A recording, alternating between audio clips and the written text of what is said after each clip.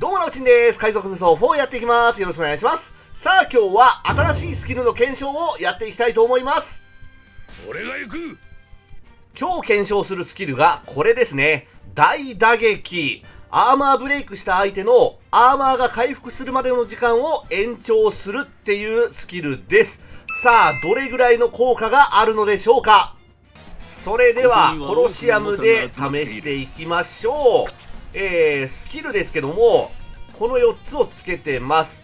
すべてアーマーゲージへの攻撃力が上がるやつですね。で、えー、大打撃は入れてません。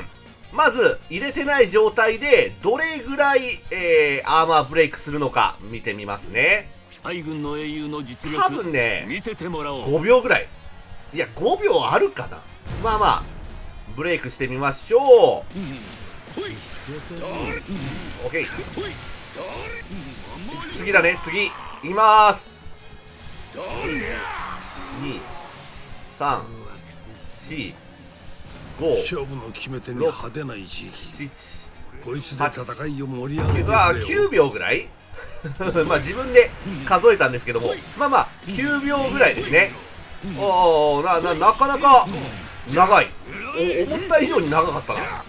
では次、大打撃入れてみましょう。では、続いて、スキルを入れてきました。えー、さっきの4つプラス、大打撃ですね。さあ、まあ自分で数えた感じ、えー、9秒ぐらいだったんですけども、これがどれぐらいになるのか。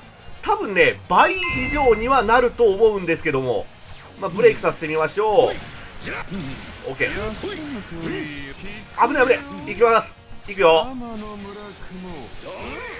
2、3、4、勝の決め手に派手な一撃6、こいつで戦いを盛り上げてくれよ9、おお10、決まったか11あおおえええそんな変わんないぞいやわかんないあの自分で数えたか感じなのでちょっとわかんないですけどもえ多分3秒ぐらいしか増えてない気がしますちょっと編集してみますねいやあんま変わんないぞこれそれでは編集終わりましたでは今日の検証結果ですけども大打撃の効果は20%アップです。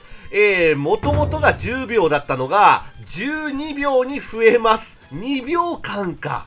これはね、入れなくていいと思います。えー、これ倍ぐらいあると思ったんですけども、全然効果薄いですね。これは入れなくていいと思います。はい。